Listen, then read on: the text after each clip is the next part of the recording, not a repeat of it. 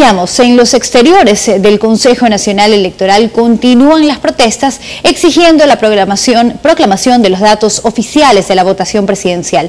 Para ampliarnos los detalles, hacemos un contacto con Santiago Villasañay. Buenas tardes, Santiago, y adelante con el informe. ¿Qué tal? Muy buenas tardes, María Antonieta. Pues las personas se siguen manifestando, siguen expresando su malestar en los exteriores del Consejo Nacional Electoral, portando banderas tricolores y también del movimiento Creo y del movimiento Suma, están expresando justamente ese reclamo que hacen para que el CNE dé rapidez a la publicación de los datos oficiales de la votación presidencial que se realizó el pasado domingo 19 de febrero. Aquí hay cuestionamientos a la demora del Consejo Nacional Electoral en su tarea y también hay críticas justamente al gobierno nacional. Eso es parte de lo que han sido algunos discursos, algunas intervenciones de personas que se han manifestado acá. Escuchemos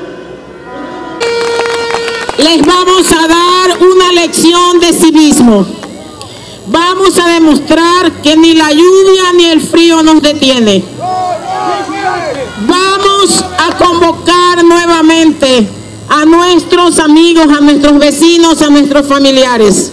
Saludo la presencia de todos los ciudadanos que amamos la libertad, que amamos la democracia y que queremos terminar con 10 años de dictadura correísta. Que es necesario que estemos unidos. Hoy no necesitamos de hablar de izquierdas, derechas, centros. Hoy el Ecuador nos necesita. Nosotros estamos convencidos que hay segunda vuelta. Confío en que va a haber una segunda vuelta por el bien de nuestro país.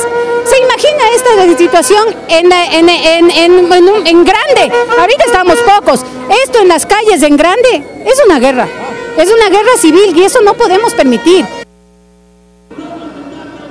Su posición firme es clara. Se mantendrán en este sitio a la espera de que el Consejo Nacional Electoral dé a conocer los datos oficiales de la votación. No se moverán de aquí, han dicho, reclaman transparencia y rapidez al Consejo Nacional Electoral. Con eso como información, María Antonieta, tú continúas. Buenas tardes.